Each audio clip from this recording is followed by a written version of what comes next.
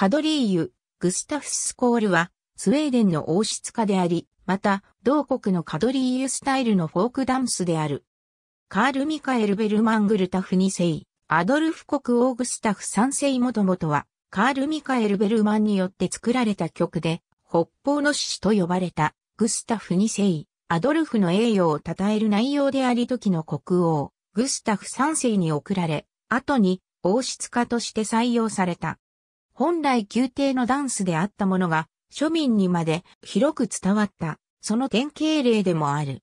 踊りそのものはシンプルなカドリーユ形式で、前半の部分は華麗に、厳かに宮廷の貴族をイメージした展開をするが、これは、ベルマンが貴族であるいとこの行動に見られる、当時の上流社会的なマンネリズムを風刺したものと言われている。後半は、楽しげな農民の踊りを表現している。日本では小学校の体育の授業や運動会で踊られている。スコールは乾杯の意味だが、時義通りには、ワン、パチの意味がある。もともとは、北欧で、正式な場所での友情や、親善のために行われる、乾杯のことを指す。今は、スコールは、世界のあちこちに広まっており、特に、北欧系の人々が多い地域では盛んである。SKL は、スコール、スコール、スコールとも綴られる。他の乾杯と同じように、スコールも幸運と健康のため、そして友情のために行われる。個人レベルの乾杯からグループでの会食の時まで様々な形でスコールが行われる。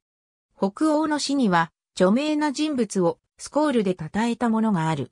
グスタフス・スコールもその一例で18世紀に書かれたこの詩は後に王室化となった。スコールの対象となる人物が高く評価されている例でもある。